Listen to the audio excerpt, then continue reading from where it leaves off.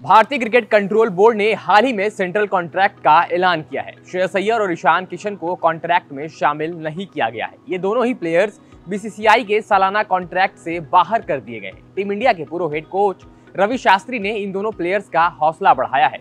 रवि शास्त्री ने ईशान किशन और श्रेयस अय्यर को अच्छी वापसी करने की सलाह दी है। दरअसल रवि शास्त्री ने एक्स पर एक पोस्ट शेयर की है।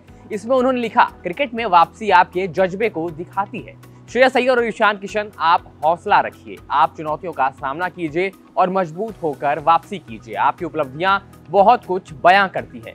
शास्त्री ने एक अन्य पोस्ट में बीसीसीआई की तारीफ़ भी की है। शास्त्री ने फास्ट बॉलर्स को कॉन्ट्रैक्ट में प्राथमिकता देने के लिए जय शाह और बीसीसीआई की तारीफ़ की है। टीम इंडिया के तेज गेंदबाज जसप्रीत बुमराह को ए प्लस कॉन्ट्रैक्ट लिस्ट में शामिल किया गया है। वही मोहम्मद शमी और मोहम्मद सिराज को ए कैटेगरी में रखा गया है। सी कैटेगरी में प्रसिद्ध कृष्णा अवेश खान, मुकेश कुमार और अर्शदीप सिंह को शामिल किया गया है।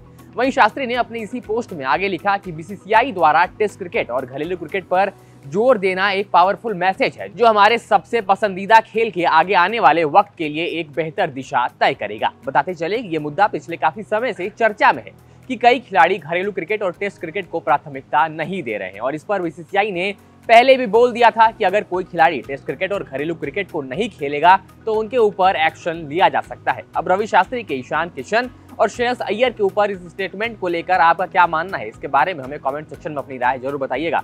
अगर आपको वीडियो पसंद आए तो उसे लाइक करिएगा शेयर करिएगा और स्पोर्ट्स से जुड़ी तमाम खबरों के लिए सब्सक्राइब करिएगा हमारे channel sports live ABP live को।